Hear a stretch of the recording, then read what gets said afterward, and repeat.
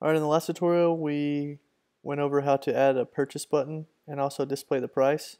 This is good if you have a product that just has one price and you can just direct them straight to PayPal or the checkout page with this way of doing it.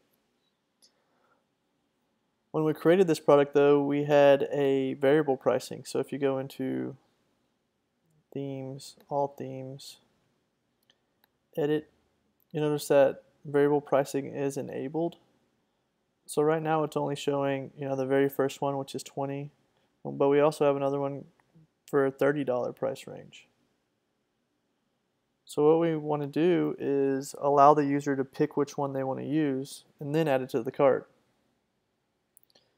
So Easy Digital Downloads has something to help us do this. If you go into Advanced and then Theming,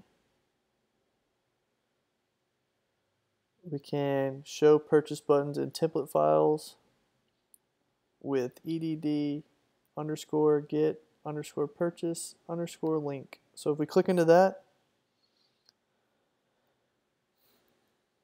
read this documentation a little bit, we can use this function here to display all kinds of cool things. These are the arguments that you can pass into this function to allow you to build a pretty cool little purchase button that shows the variable prices. So we can go over all these in a second. I've built one here pretty quick and I'm going to put it into our sidebar download again. So this time I'm going to put it, make sure it's in this widget area in the column. So I'm going to put it in here. And here you'll notice that I'm using the function exactly how it's being displayed right here you can see I have price set to false. You can see here that you can accept either true or false, whether to show the price in the button or not. I have the download ID, which we went over earlier, which is just getting the post ID. I have a class set, and this is currently using a Bootstrap button, and Bootstrap uh, success. In the text, I'm just doing add to cart. So there's a couple other options you can use, like direct, style, color. So direct will, you know, take them exact straight to the cart, or you can just have an add to cart button. So I'm not using the direct right now just to show you how this feature works. It's pretty cool. So let's save that and reload the front end. And there you go. You see that we have both variable prices showing and then this add to cart link.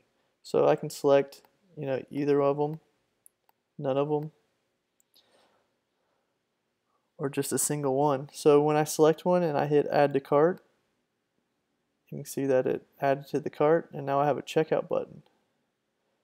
So notice that it didn't take me directly to the shopping cart like this purchase link did. But if you like that way of doing it, you can use this direct argument and set it to true and it'll take them directly to the shopping cart. But now that I have this checkout button, I can simply click checkout and it takes me to the shopping cart with the option that I picked. Pretty neat. So this way of doing it is nice if you have you know, several different products and you don't want to take them directly to the cart or to the checkout page, I mean, and they can just keep adding things to the cart until they're ready to check out. Pretty much like a normal e-commerce site that you visit every day. So that's pretty cool. Let's go back into our themes and let's disable any variable pricing just to show what it looks like. So when you reload the front end, see that it just has the add to cart button. When you click on that, does its thing, and you can now go to checkout. So just the $20 option is available.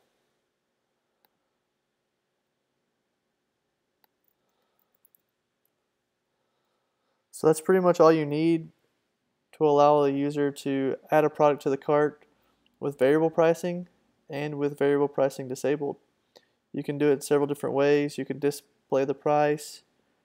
You can direct them straight to PayPal or straight to your checkout page, or you can just have them added to the cart. Easy Digital Downloads gives you several different options. With that said, I'm going to end this tutorial here, and in the next tutorial we're going to build a page that will show all of our themes so the user can pick which theme they would like to purchase.